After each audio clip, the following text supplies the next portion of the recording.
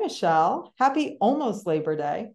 I'm excited for us to have this conversation. It certainly has been a busy summer for the Center for Labor and a Just Economy and for the labor movement. So, you spent some time out of the country this summer, uh, taking some time off after finishing up your amazing tenure as the co founder and co executive director of coworker.org. So I'm curious, as you've gotten back to paying deep attention to what's going on with workers in our country, what surprises you about where we find ourselves this Labor Day? Thanks, Sharon. Um, yeah, even as I was taking my time off, it was basically impossible to get away from the labor movement. And I mean that in the best way. The Teamsters negotiated this incredible contract with UPS uh, specifically for part time workers. We've got the WGA and SAG members on the picket line every day, making plain the impact of AI on all workers with a ton of solidarity from the general public. And the UAW strike authorization is the latest sign that where workers have organized, they really do have a chance to shape the economy. And when I was on my break, I met so many people whose eyes lit up when I said I worked in the labor movement. Everyone had something to say. It's not just workers and unions who are motivated. There is this renewed sense of enthusiasm for the labor movement that I haven't seen in my 20 years of doing this work. Labor, it's where the cool kids are. anyway, that is a lot of big activity. And there have also been, been some big wins for workers in the States you know, this summer in Minnesota, the governor signed a bill that creates a nursing home workforce standards board that'll give healthcare workers a voice in how the nursing home industry meets the challenges that have really plagued that industry, like low pay and understa- understaffing. And Michigan, really big news Michigan repealed its right to work law amazing. That's so exciting. Um, but you know as we've often discussed we know that there are so many more workers who want to join unions but can't because it is just too hard. And you can just look at what's happened at starbucks and amazon.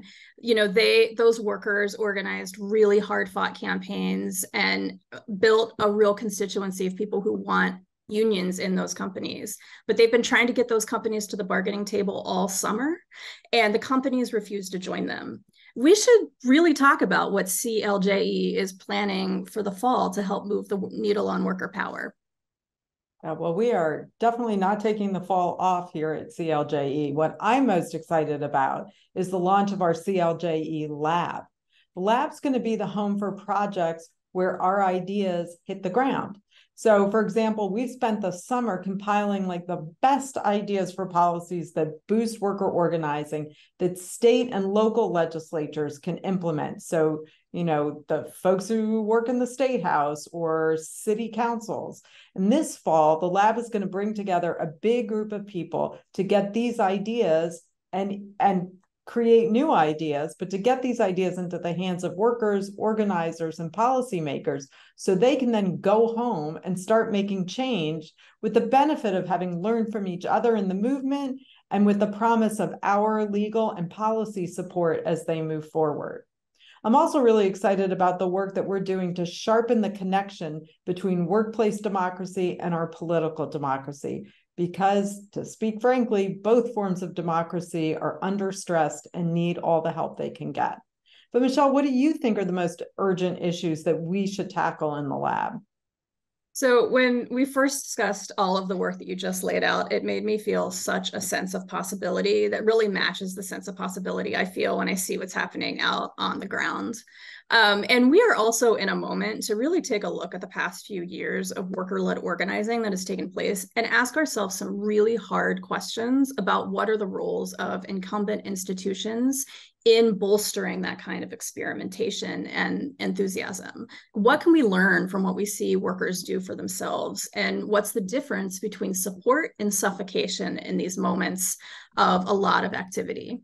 I think there's also so much more work to do on AI and the use of technology in our workplaces. The rise of generative AI brings up really complex questions about our work and who owns it and who owns the future.